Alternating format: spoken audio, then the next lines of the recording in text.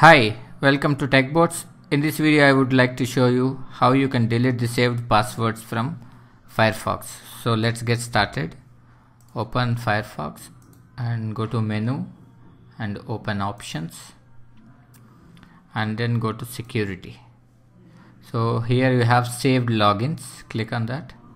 So here is a list of sites. It says login for this following sites are stored on your computer so if you want to remove any specific site you can select and remove them individually or you can simply click remove all. So I'll show you both. So if you select anything and then simply remove it will remove. And if you click remove all it will prompt you. Are you sure you wish to remove all passwords? So you can say yes. So it will remove all the passwords. Thanks for watching